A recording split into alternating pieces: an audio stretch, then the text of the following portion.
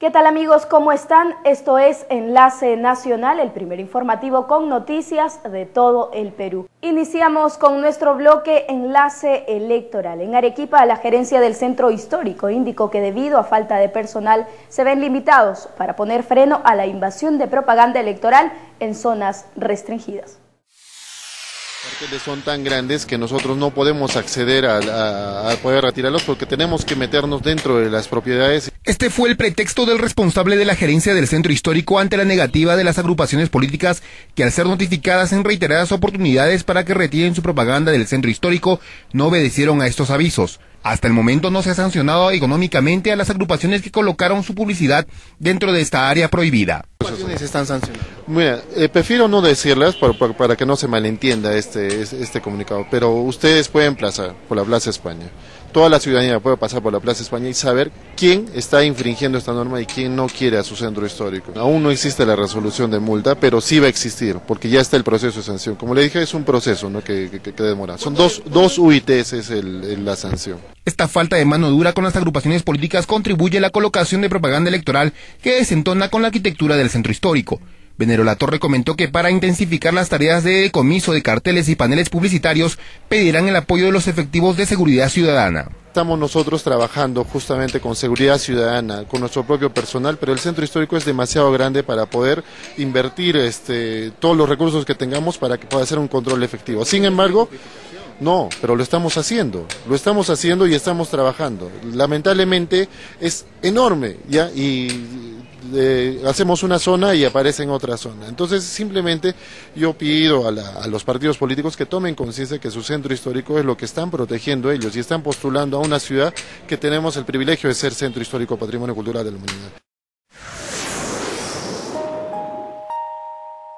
Hasta aquí las notas electorales. Pasamos a otras noticias. Pese a la declaratoria de emergencia del gobierno, los dirigentes y población de la provincia cusqueña de la Convención seguirán adelante con las protestas en defensa del gas para el sur. A continuación, Marco Nieto, periodista de Inforegión en Quillabamba, nos informa al respecto.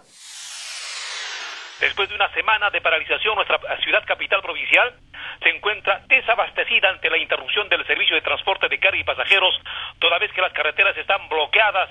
Entre tanto, el gobierno central, a través del presidente del Consejo de Ministros, Javier Velázquez Quesquén, dio la buena noticia frente al arribo de una comisión de alto nivel y dialogar con los directivos del Comité Central de Lucha, pero que para ello dijo tienen que levantar la huelga.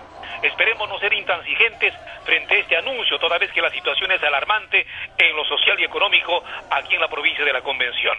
Entre tanto, el extenso distrito de Charate fue declarado por el Estado peruano en estado de emergencia y son las fuerzas del orden quienes asumieron el control territorial. Cabe resaltar, baristas y elementos de las fuerzas del orden se encuentran en la localidad de Quiteni, muy cerca a los ductos del gas de Camisea.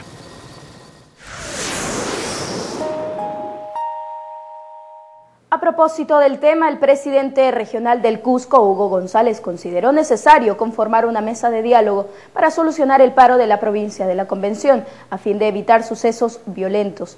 De otro lado, se refirió a la concesión del aeropuerto Velasco Astete. El presidente regional del Cusco, Hugo González Sayán, indicó que ante el conflicto social surgido por la exportación del gas y la declaratoria de emergencia en Echarate, es necesario concretar una mesa de diálogo.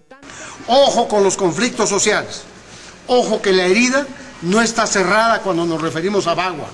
Y allí hay comunidades nativas, hay asiánicas, hay machiguengas y debemos evitar. Para eso estamos exigiéndole al gobierno que instale inmediatamente la mesa de diálogo, porque sin mesa de diálogo no vamos a llegar a ninguna solución. Asimismo, González Sayán se refirió a la supuesta privatización del aeropuerto Alejandro Velasco Astete, proceso que está a cargo de Proinversión. Han venido a contrabandear a través de Proinversión la posibilidad de dar en bandeja de plata una torta con su cereza encima y que se llama Aeropuerto Velasco Astete y en ningún momento se ha dicho de que parte de la concesión del aeropuerto Chinchero sea entregar el aeropuerto Velasco Astete.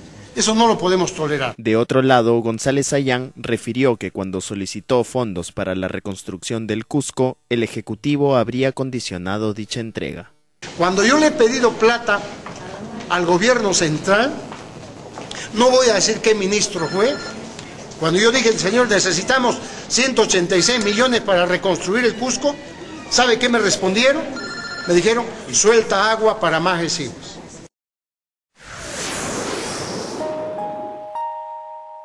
Científicos coreanos inician investigaciones en biotecnología en Tingo María. Los especialistas trabajarán con profesionales de la Universidad Nacional Agraria de la Selva.